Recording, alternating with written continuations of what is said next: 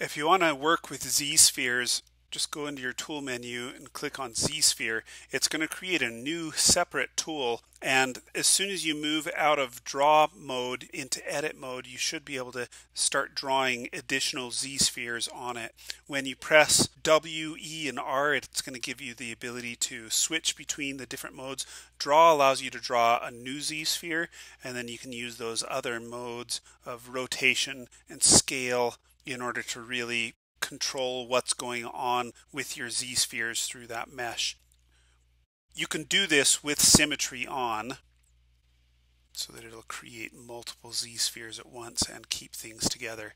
When you decide that you're happy with what you've got, go down to adaptive skin and click preview and it's going to show you what happens. You can of course change the density of this mesh. Once you're happy with that, you have to click make adaptive skin. Now when you click make adaptive skin, this is still the Z-spheres. In fact, if we turn off preview, you'll see that this is actually the Z-spheres. Don't get confused and start sculpting on that.